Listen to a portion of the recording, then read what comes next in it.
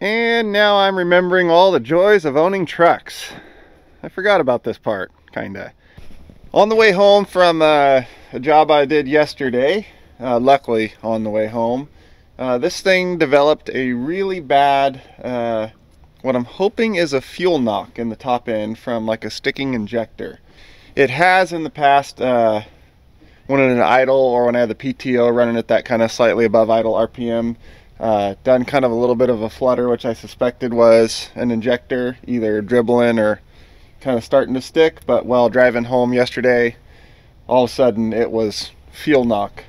So we are going to uh, get it fired up, warmed up, get my pickup thrown on the back of it, and we're going to take it up to the Cummins dealer in Redmond where they're going to pull it in, plug their fancy computers and stuff into it, and uh, see if they can figure out what's going on.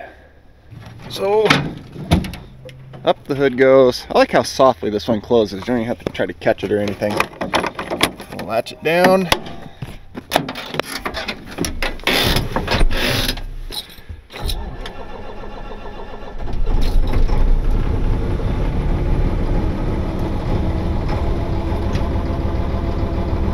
You hear that kind of flutter? Yep, I would say uh, that's an injector. Dang it. All right, well, let's get this one fired up too. Are you gonna play nice today? Thank you. I can't handle both at once. Oh, wow. Yep. She needs some help. Wow. Oh yeah. Five cylinders.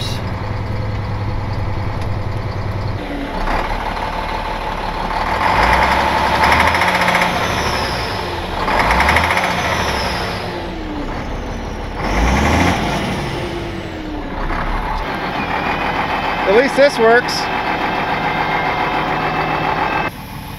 The buttons aren't actually what they say they are. This says it's the winch button, but it lowers the bed. And the other problem is uh, when you hit the button to put the bed back up, the light on the receiver up there comes on that this is working, but somewhere in the wiring between that light and the valves back here, it doesn't work. Everything else works though. Okay, that on there.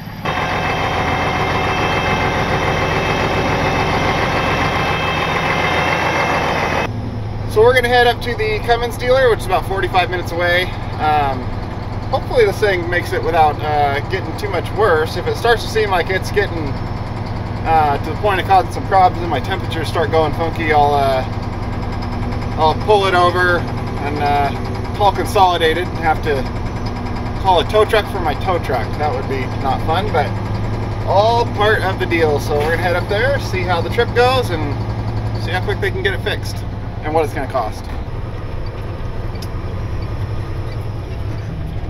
Well, we made it. Uh, the knocking was kind of in the mid-range. If it was like cruising along off the throttle, no knock. If I was hammered full bore on the throttle, no knock. So uh, I just hammered on it up to like 65 and then just let off and cruised to idle to like 55 and then just repeated that the whole way here. Kept the knocking to a minimum and uh, all gauge of stuff seemed fine the whole way.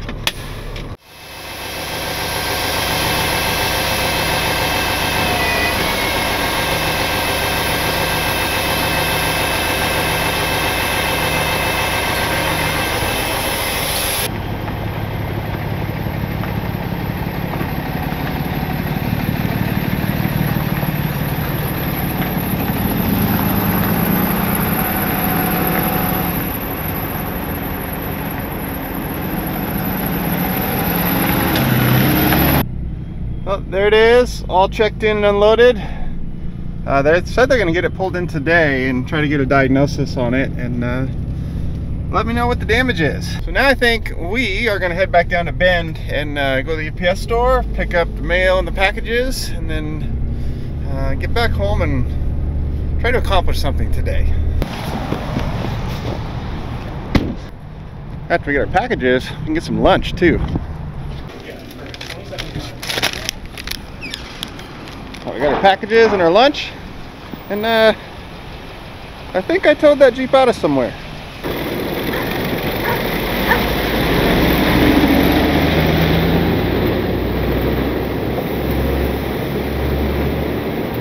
Yep, looks like I got a new clutch. So we're gonna head home and uh, look at all the projects I have to do and see which ones we can procrastinate on a little longer. So I'm back home and I figured out what I can do instead of being productive and getting some of these million projects done is I can show you what you may have already noticed earlier in the video, uh, what I recently purchased. I have been wanting a dump trailer for a very long time, like many, many years. And uh, I haven't bought one because they're expensive. So uh, this, uh, actually not this trailer, a whole nother trailer popped up for sale, a very used one for a good deal uh, up in Portland, on the other side of Portland, about three and a half hours away. And uh, I was gonna go buy it. I'm, like, I'm gonna get a dump trailer. It was smaller than this one, lighter capacity than this one, and very well used. So we set up a time to meet the next morning. I loaded up my wife and daughter in uh, pickup, and uh, we made the drive up there. We got about two and a half, three hours or so into the drive, almost there. And the guy texts me and says, uh, "Hey, uh, I sold that trailer."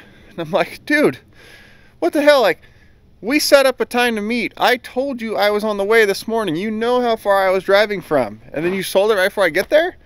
So thanks for wasting my, my day and my time and fuel. So he says, oh, well, it's okay. I got another one. And uh, I said, same price? And he goes, no.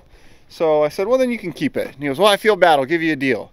So since we were almost there, we kept driving. We show up and this is sitting in the driveway. I went up there to get a very well used 10 foot long, 10,000 pound rated uh, dump trailer. This here is a brand new 14 foot long, 14,000 pound rated dump trailer. Now the 14,000 pound capacity means the total gross weight of this entire vehicle can be 14,000 pounds. That's what it's rated for. So to figure out how much you can put in the bed, you subtract the trailer's weight from 14,000 and handy, they have it right here. You can put 9,770 pounds in the bed of this thing. So uh, just, just under five tons. So this is not like a brand new off the dealer lot trailer. Uh, I believe it's about two years old from when it was first sold. Uh, story goes, uh, a, an older guy had the one trailer that he used all the time. Uh, bought this one to upgrade to the bigger, heavier rated, nicer trailer. Um, then he got really sick, couldn't run either one, uh, didn't have the energy or effort to go sell the other one. So they both sat in the driveway. Uh, a year or so later, he ended up uh, passing away, and now his son is uh, selling off all the stuff for the estate sale, and uh, both the trailers were in that. So I paid more for this than uh, I wanted to pay for a dump trailer, but the deal I got on it, I, I couldn't pass up because I'll never find one this nice and this new for that price again. So we got a dump trailer. It has the built-in tarp. It has a 14 foot long, seven foot wide bed. It has the three-way tailgate that opens up barn door style to, to dump big stuff out the back or dump truck style with spreader chains here to spread gravel on a driveway. It also has these flip down little doors right here that has the loading ramps inside to load stuff into it. All LED lights, automatically adjusting brakes on both axles, spare tire, and a nice little pushy button to go up and down. So that you can see the stronger scissor hoist option instead of just the straight push ram. Actually, I don't know if the straight push ram is even an option on the 14,000 pound trailers, but I know on the 10,000, it had just a single ram that's there and there and just pushes up. This is far stronger. You see right here, these are the loading ramps that are stored in these brackets on the bottom side and then go out the back so you can put stuff in.